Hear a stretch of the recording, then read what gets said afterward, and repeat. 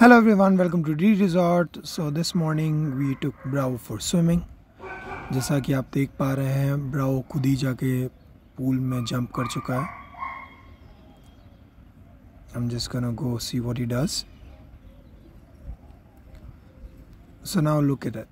He's like a small dolphin who's ready to swim. He loves swimming and uh, इसको uh, काफ़ी medical help भी हुई है he was little sick when he came to us. So now he's a lot better. बहुत सारे लोग algae देख के कंप्लेन करेंगे कि एलगी से डॉग बीमार हो जाते हैं, ये हो जाता है। We been swimming Bravo from last one month and half now initially इसको थोड़ी दिक्कत आई थी but now he got used to it because we have open space for the water so algae कितनी बार ही हम हटाते हैं, उतनी बार वापस हो जाती है विद इन डे और two so we stop worried about algae और हम सिर्फ़ अपना काम पे फोकस करते हैं। ना will go out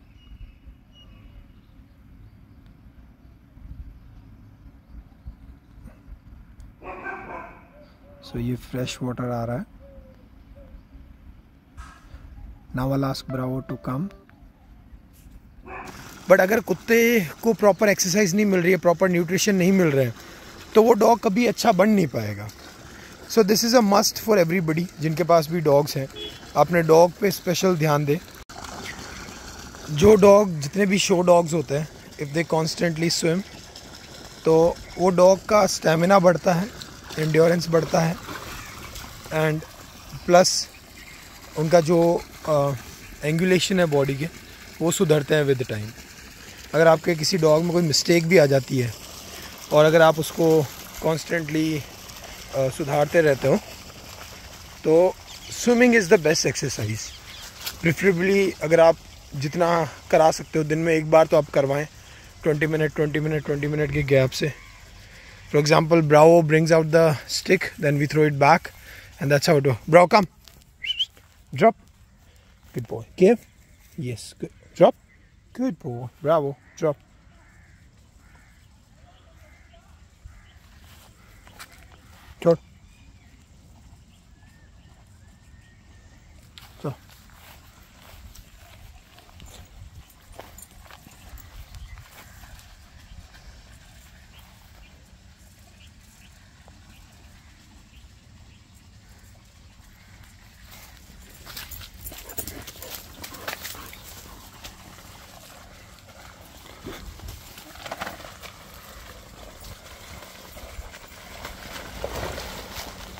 this is his sliding.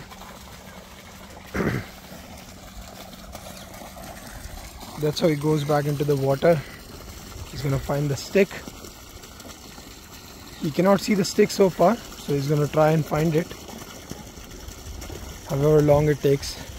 So that makes the exercise go a bit longer. There's a fresh water coming. So when he finds the stick, he's gonna bring out the stick outside and then we're gonna throw it back. And we'll do it for like one hour minimum